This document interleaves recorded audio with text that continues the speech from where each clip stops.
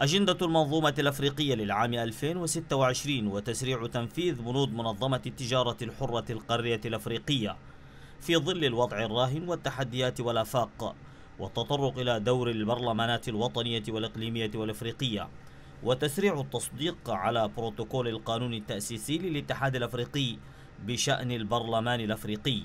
كل هذه المواضيع نوقشت خلال ثلاثة أيام في شكل ورش ودورات وندوات برلمانية لمختلف النواب والمستشارين المشاركين في المؤتمر من مختلف الدول الأعضاء في البرلمان الأفريقي. المتحدثون رئيس برلمان تجمع دول وسط إفريقيا جانيت كابيلا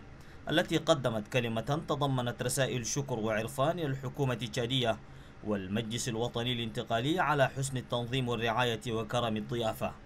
بالإضافة إلى جميع الدول المشاركة وجمعيات المجتمع المدني.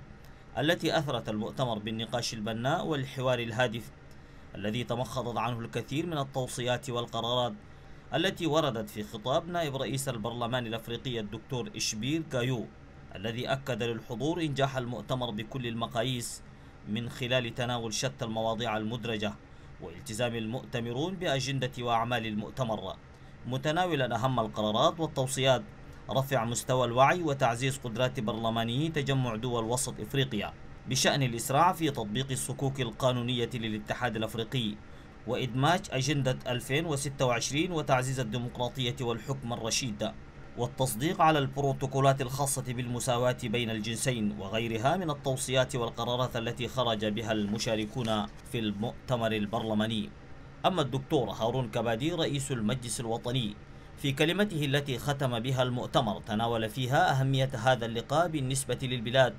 في هذه المرحلة الانتقالية وذلك من خلال التسهيلات التي قدمتها السلطات العليا والدعم اللامحدود للمجلس الوطني الانتقالي بتنظيم هذا المؤتمر. مطمئنا الجميع بأن المجلس الوطني الانتقالي بالتعاون مع البرلمانات الإقليمية سيسعون إلى تطبيق القرارات والتوصيات الأفريقية الخاصة بالحكم الرشيد وتعزيز الديمقراطية والإسراع في تنفيذ بروتوكولات مالابو وباب حول تطبيق الميثاق التأسيسي للاتحاد الأفريقي والاستراتيجيات الجديدة لمعالجة التحديات والعوائق التي تقف أمام الوصول إلى التكامل بين الدول الأفريقية متمنيا عودة حميدة لكل الوفود المشاركة من الدول الأعضاء في المؤتمر البرلماني حول الحوكمة وترقية التصديق وتنفيذ الصكوك القانونية للاتحاد الأفريقي.